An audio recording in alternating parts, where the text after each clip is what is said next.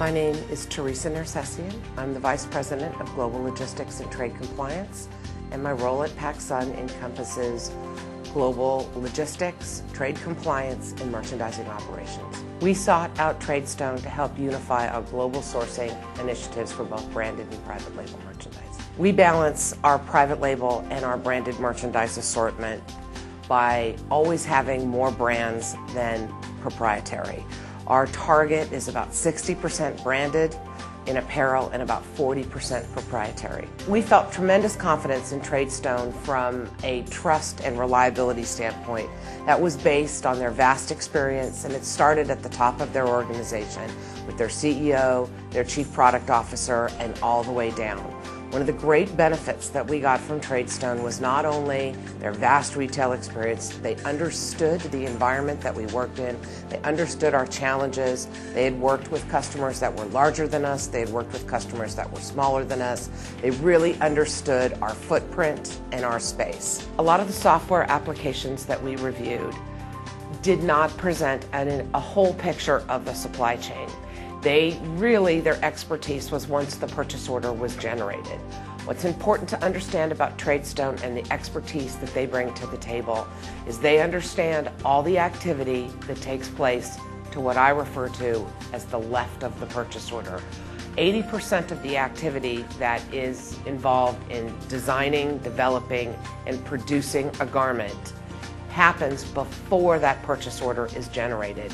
And the TradeStone solution provides visibility, metrics, tools, analytics, visibility, control to all of those processes.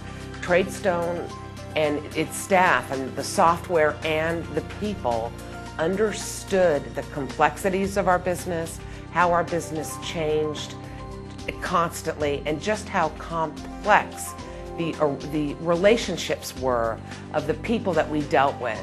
The value that IBM brought to the project was project manage management, articulating the technical requirements. IBM was the bridge between the user and TradeStone. They facilitated the process, they articulated the requirements, they supported the back end of the project so that we were always ready to go with data, with information, and with status. Retailers do not adopt to change very well, and Pacific Sunwear is no exception.